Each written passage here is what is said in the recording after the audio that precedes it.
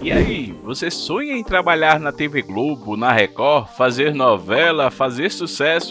Pois é, 40 famosos não querem mais fazer novela e estão correndo longe de um folhetim. Curte, comenta, compartilha. Vamos conferir? Bloco Social, começando. Que tal começar por Alexandra Marzo? Ela que é filha de ninguém menos que Beth Faria e Alexandre Marzo. Fez novelas como Salvador da Pátria e grandes sucessos da TV brasileira, mas desde que participou de Suave Veneno em 1999 na TV Globo, decidiu sumir da TV e não fez mais novela. Lá se vão 25 anos. Alice Braga, muita gente até pediu, insistiu a Globo para contratar ela para ser protagonista de alguma novela, mas ela sempre investiu na carreira internacional. Na TV brasileira fez Carandiru, outras histórias, super bonitas, as brasileiras, Samantha, mas preferiu investir na carreira internacional. Desde 2018, quando fez Samantha, sumiu da TV brasileira. Tem também nessa história Taylor Lee, ele que brilhou em nada menos que a Dona do Pedaço. Foi seu único trabalho na TV, contracenou com ninguém menos que Paulo Oliveira, mas disse que desde então não quer mais trabalhar em novela. Segundo ele, você fica um ano, oito meses, dez meses dedicado a um papel. Ele prefere o cinema. Ana Paula Arósio cresceu na TV brasileira, fez Éramos Seis no SBT, porque não Terra Nostra, Ildo Furacão e muitos trabalhos na Globo. Foram quase 20 anos dedicados à TV, até que em 2012 ela abandonou as novelas e até hoje a Globo fica insistindo, mas parece que ela não quer voltar mais a fazer novela. Tem também André Marques, que ficou super famoso no país inteiro como Mocotó dos primeiros anos de Malhação. Depois se tornou apresentador do Video Show, do The Voice Brasil, do É de Casa, até que foi demitido da Globo em 2021 e dizem que na Globo, para fazer novela, ele não quer mais. Chegamos então para Bianca Comparado. Ela ficou famosa aqui no Brasil quando participou da série 3% da Netflix e também da novela Avenida Brasil 2013. Pois é, depois se aventurou na carreira internacional e apareceu recentemente na série Grey's Anatomy, um grande sucesso no mundo inteiro. Voltar às novelas, eu acho que por enquanto não. Bruna Marquezine a gente viu crescer. Foram muitas as histórias, mulheres apaixonadas, em família, Deus salve o rei, até que o contrato dela com a Globo acabou em meados de 2021 e não foi mais renovado. Ela então apostou na carreira internacional e anda fazendo filmes lá em Hollywood, como o Besouro Azul. Já assistiu? Tem também Bruno De Luca, que também participou de Malhação, fez desde jovem o programa Domingão do Faustão e apareceu em outros folhetins da TV Globo. Não é de hoje que o rapaz decidiu aposentar a carreira de ator. Recentemente se envolveu em uma grande polêmica e acho eu que muita gente não quer vê-lo na TV. Será ou não será? Bruno Galhaço também fez Paraíso Tropical, participou de grandes sucessos como Cordel Encantado, recentemente apareceu em filmes da Netflix. Perguntado se voltaria à TV Globo, ele já disse em entrevista que não, que novela gera muito tempo de desgaste e ele não quer mais isso. Tem também Camila Pitanga, que fez Velho Chico, por que não Paraíso Tropical, entre grandes sucessos da TV Globo. Recentemente ela apareceu na série Aruanas, da Globoplay, e já avisou: novela não, só filmes e quem sabe séries. Continua muito linda. Concorda ou discorda? Deixa sua mensagem que eu quero saber. Chegamos então a Carlos Casa Grande. Também participou de grandes sucessos como Fina Estampa, por que não Paraíso Tropical, Mulheres Apaixonadas. Foram mais de 10 trabalhos na TV Globo.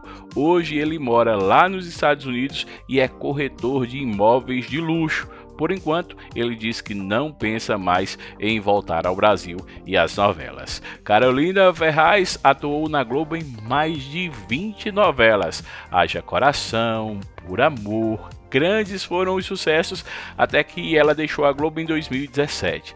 Tá na Record no Domingo Espetacular e ela mesma disse: estava um pouco cansada dessa coisa de novela e comprometimento de um ano de trabalho, preferiu se aposentar. Cissa Guimarães fez muitas novelas, principalmente nos anos 1980. Muita gente lembra dela em Direito de Amar, 87, Salve Jorge, 2013. Hoje ela segue como apresentadora do Sem Censura da TV Brasil.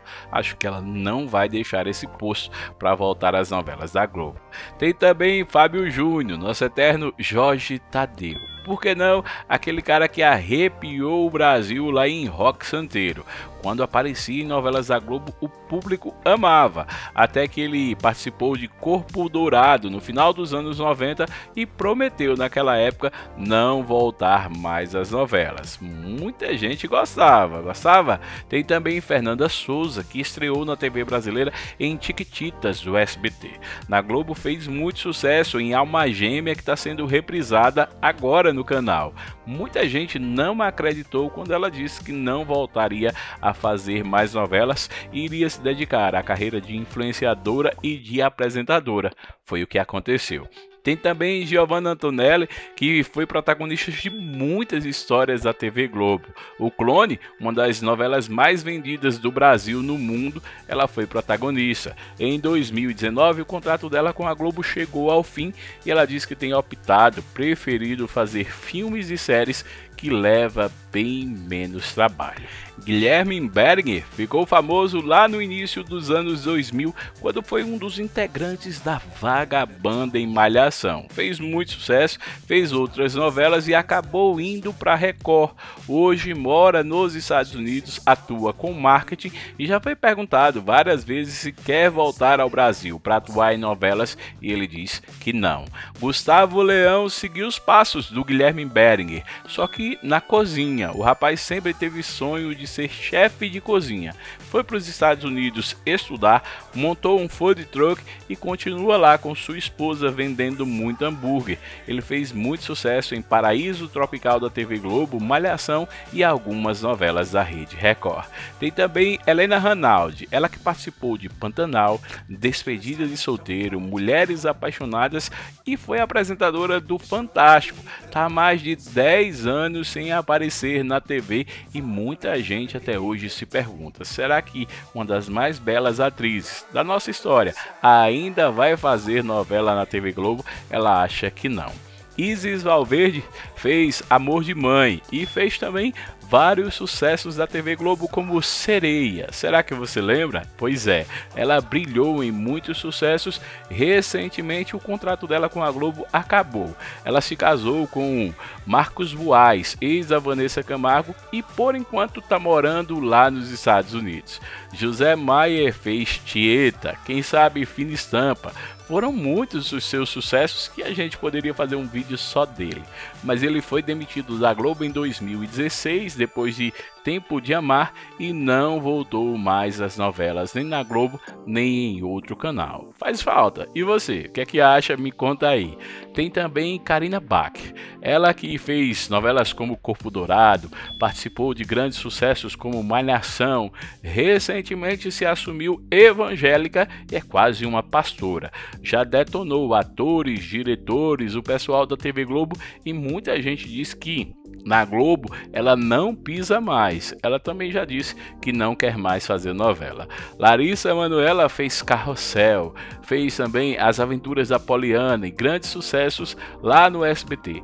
Foi para a Globo e fez Além da Ilusão. Recentemente ela disse em entrevista que hoje está preferindo fazer filmes que novela demanda muito tempo, cerca de um ano de trabalho e é isso que ela não quer mais.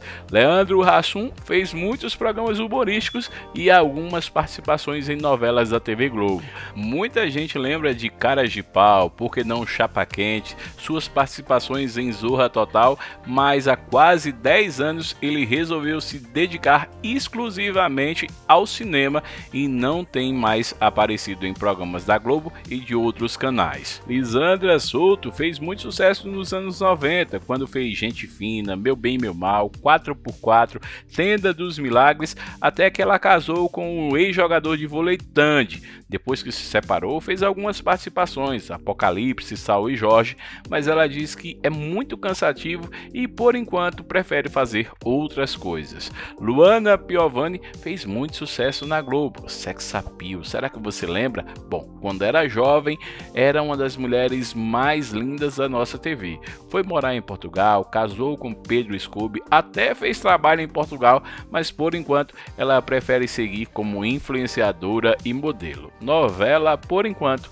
ela não quer mais. Ludmilla Dyer fez muito sucesso em Malhação, quem sabe Senhora do Destino, outros trabalhos na TV Globo. Em meados de 2010, tanto Globo quanto Record disputavam a loura para fazer novela. Ela recusou e foi morar nos Estados Unidos.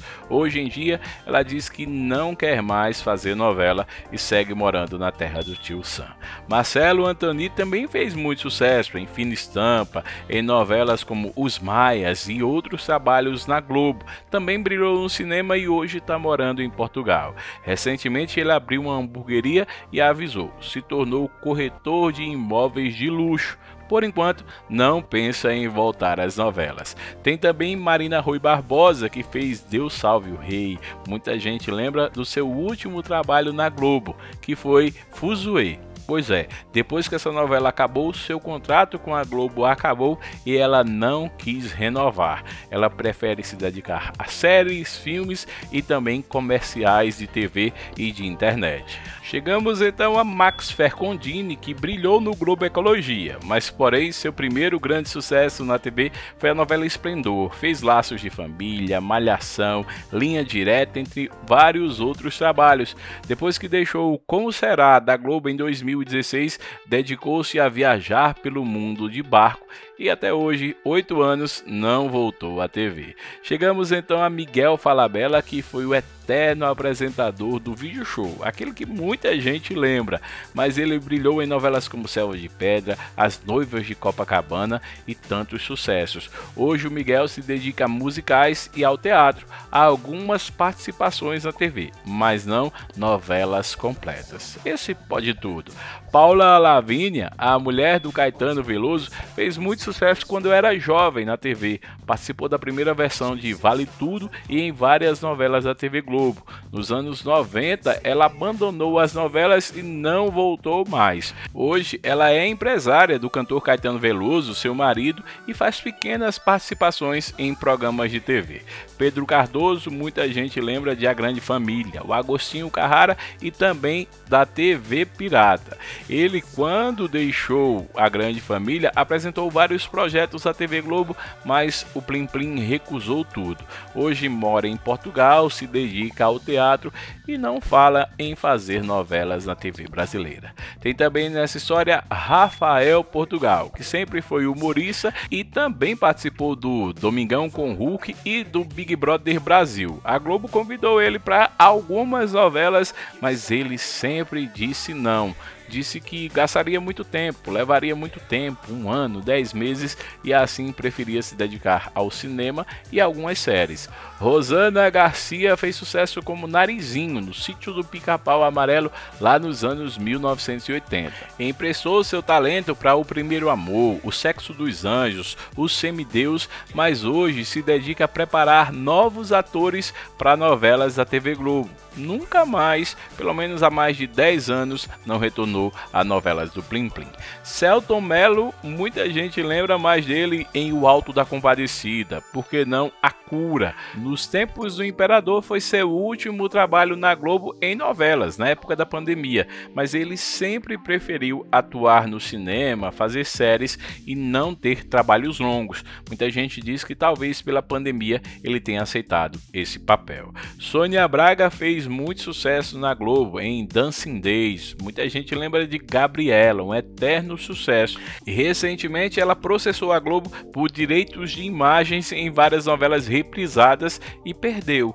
Muita gente diz que por isso acha difícil vê-la em novelas do Plim Plim. E você, o que é que acha? Chegamos então a Susana Werner, que fez muito, mas muito sucesso quando participou do seriado Malhação, lá no final dos anos 90. Também fez algumas participações em novelas, mas deixou a TV quando se casou com o goleiro do Flamengo, Júlio César. Bom, o casamento foi, voltou, mas ela não voltou mais a fazer novelas na TV. Chegamos então a Thalia, que estreou na TV mexicana em 15 anos. Depois foi um grande sucesso. Marimar, Maria Mercedes e Maria do Bairro, as três Marias que conquistaram o mundo. Sua última novela foi em 99. Rosalinda, de lá para cá, ela só se dedicou à música e a algumas aparições em programas de TV, filmes e séries. Para encerrar, Talma de Freitas, que foi um grande sucesso na TV quando participou de Laços de Família em 2001. Pois é, muita gente adorou ela na TV, tanto que ela voltou a Kubanacan, Danos nas Nuvens, O Clone, Começar de Novo, depois abandonou a TV no final dos anos 2000 e não voltou mais. E aí, qual deles fez falta para você? Não se esquece, se inscreve no canal, aperta no sininho, deixa o seu recado, reclama ou deixa sua sugestão, Bloco Social.